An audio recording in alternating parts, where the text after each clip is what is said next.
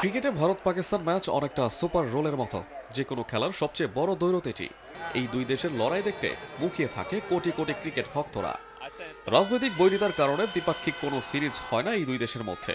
তাই তো এই দুই দেশের লড়াই দেখতে আইসিসির ইভেন্টের দিকেই তাকিয়ে থাকতে হয় ক্রিকেট ভক্তদের। বিশ্বমঞ্চে ভারত পাকিস্তান মহারণ যে ম্যাচের আমেজ মুহূর্তেই ছড়িয়ে পড়ে সারা বিশ্বে। বিশ্বকাপের মতো মঞ্চে তার ঝাঁসটা যে একটু বেশিই থাকবে তা খুবই স্বাভাবিক।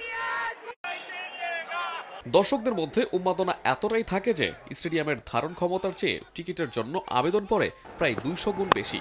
তাহলে একবার ভাবুন তো, বিশ্বমঞ্চে এই দুই দেশের লড়াই ঠিক কতটা উন্মাদনা ছড়ায়?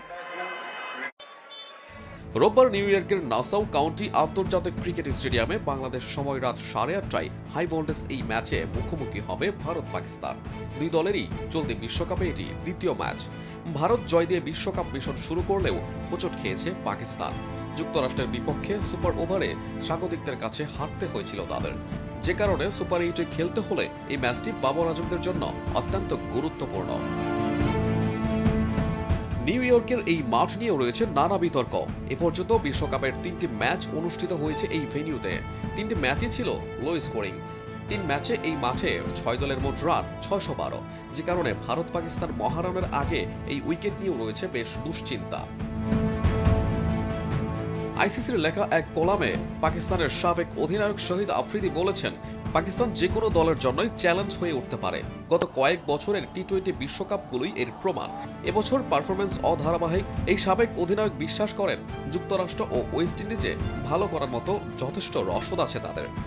সর্বশেষ দুটি টি টোয়েন্টি বিশ্বকাপে পাকিস্তান ফাইনাল খেলেছে। এবারের দলটার প্রতিভা নিয়েও কোনো সন্দেহ নেই। চলতি বিশ্বকাপের জন্য আইসিসির মেগা প্রজেক্ট ছিল নিউ ইয়র্কের এই নাসাউ স্টেডিয়াম। মাত্র পাঁচ মাসে বানানো হয় এই মাঠটি, যেখানে আগে ছিল উন্মুক্ত পার্ক। সাধারণত ক্রিকেটের মাঠের পিচ হয় সেই এলাকার মাটি দিয়েই, কিন্তু এখানকার পিচ আনা হয়েছে অস্ট্রেলিয়ার অ্যাডিলেট থেকে। সেই পিচের চরিত্র বুঝতে পারছেন না ক্রিকেটাররা। ফলে বলের অহেতুক ওঠানামায় নাজেহাল হতে হচ্ছে ব্যাটারদের। এই উইকেট নিয়ে সমালোচনা করেছেন সাবেক ক্রিকেটার ও বিশ্লেষকরা। বাকি ম্যাচের কথা ভেবে পিচ ঠিক করার চেষ্টা চলছে। পিচে ঘাস রয়েছে, সেই সঙ্গে ফাটলও রয়েছে। এই ফাটল মেরামত করার চেষ্টা করছেন আয়োজকরা। ফাটলের কারণেই আসমান বাউন্স তৈরি হচ্ছিল। পিচের ওপর রোলার চালানো হচ্ছে। এত কিছুর বড় কি পিচের চরিত্র বদলাবে? আইসিসির অফিসিয়ালদের বরাত দিয়ে বিবিসি বলছে, ভারতীয় দল আনুষ্ঠানিকভাবে নিউ ইয়র্কের পিচ নিয়ে অসন্তুষ্টির কথা জানিয়েছে।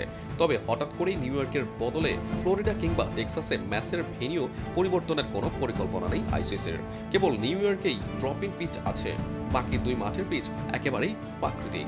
তবে রোববার ভারত পাকিস্তান ম্যাচে কোন পিচ ব্যবহার করা হবে, তা এখন দেখার বিষয়। আহমেদ হৃদয়, ভোরের কাগজ।